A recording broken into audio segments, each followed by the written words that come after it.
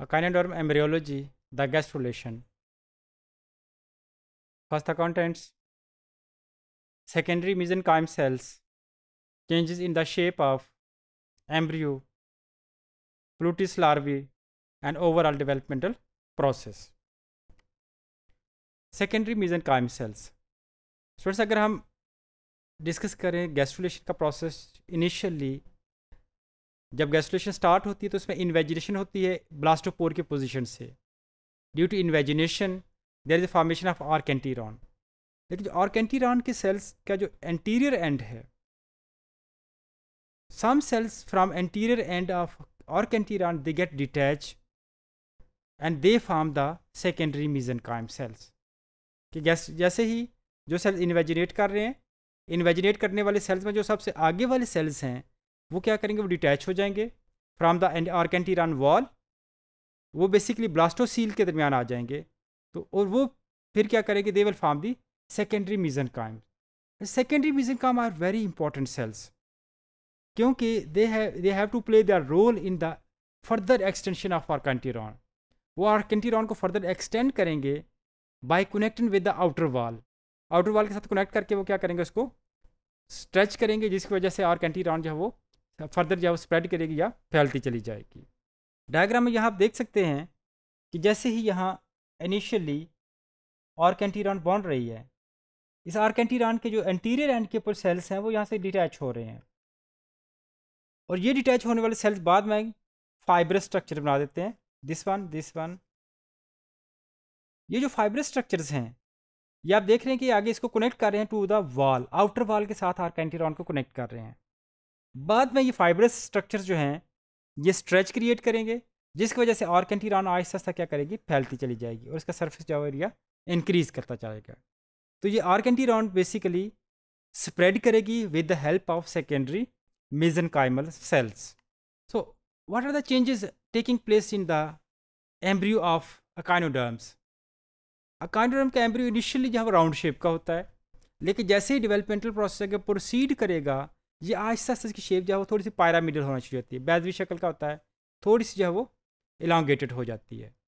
तो initially round shape है, बाद में ये क्या करेगा? ये पायरामिडल शेप में जो है वो आ जाएगा। फिर then it will form a prism shape अब ये इसकी जो गैस्ट्रुलेशन की एंड वाली स्टेज होगी, वो प्रिज्म शेप होगी और उसके बाद इसने अल्टीमेटली आगे जो प्लूटिस लार्वी में कन्वर्ट हो जाना है। अब जो प्लूटिस लार्वी है इट इज़ डायरेक्शनल इसके बाकायदा डायरेक्शनल है और इसका एक फ्रंट एंड मौजूद है, जिस तरफ़ ये मूव करके जाता है। यानी प्रोटिस लार्वी हमेशा एक डायरेक्शन में मूव करेगा और जिसका फ्रंट एंड होगा it will be called as the anterior end उसको हम इसका एंटीरियर एंड का नाम देंगे। प्रोटिस लार्वी की, अगर हम करेक्टरिस्टिक्स की बात करें it is actually the bilaterally symmetrical larvae अच्छा जो अडल्ट अकाइनोडर्म्स होते हैं दे आर रेडियली सिमेट्रिकल उनकी बॉडी रेडियली सिमेट्रिकल रखती है, लेकिन जो लार्वल स्टेज है, वो क्या है? बाईलेटरल सिमेट्री रखती है। इस से मोस्ट ऑफ़ द जो अकाइनोड्रम्स हैं, वो या तो स्लो मूवर्स हैं या फिर सेसाइल हैं। जबकि इनका जो लार्वी है that is a pluteus larvae echinoderm के लार्वी को हम प्लूटिस लार्वी कहेंगे।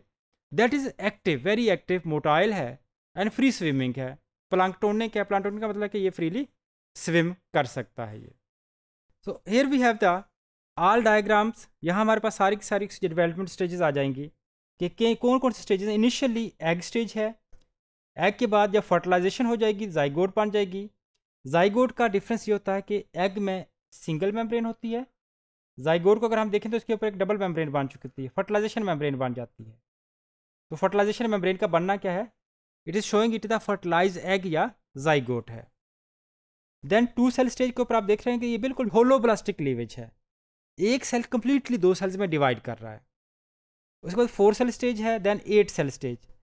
Eight cell stage में अगर आप देखें, आप देख रहे हैं कि एग्जैक्टली exactly नीचे वाले सेल्स के ऊपर दूसरे सेल्स का टायर जहाँ मौजूद है तो नीचे वाली रो के एग्जैक्टली ऊपर दूसरे सेल्स की रो मौजूद है तो एक सेल के बिल्कुल ऊपर दूसरा सेल जब आ रहा है तो इसको हम कहेंगे it is a radial cleavage है ये। उसके बाद हमारे पास सिक्सटीन सेल स्टेज है then thirty two cell stage है। ये वो सेल स्टेज हैं जब जस्ट एक बॉल ऑफ़ सेल मौजूद है, इसको हम मोरूला स्टेज कहेंगे।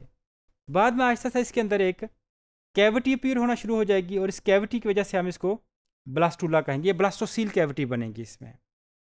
लेटर ऑन ब्लास्टूला जो है, ये फर्दर फोल्ड अप होकर जर्म लेयर्स बनाएगा। यानी इसकी इन्वेजिनेशन होगी, इससे आहिस्ता आहिस्ता जब वो मल्टीपल लेयर्स बनना शुरू हो जाएँगे तो उसका हम कहेंगे ये गैस्ट्रूला स्टेज है। तो गैस्ट्रूला में आमतौर पर बाहर वाली लेयर को एक्टोडर्म कहते हैं। सबसे अंदर वाली एंडोडर्म है और दरमियान वाली को मिजोडर्म का नाम दिया जाता है। गैस्ट्रूला की एंड स्टेज है, वो प्रिज्म लाइक स्ट्रक्चर है। और prism like structure then it is converted into the pluteus larvae अच्छा प्लूटियस लार्वी फिर उसके बाद जब ये अपनी लाइफ कंप्लीट करेगा तो ultimately it will be converted into the adult echinoderm larvae motile है, लेकिन जो अडल्ट होगा it will be the sessile या फिर स्लो मूवर होगा हमारे पास।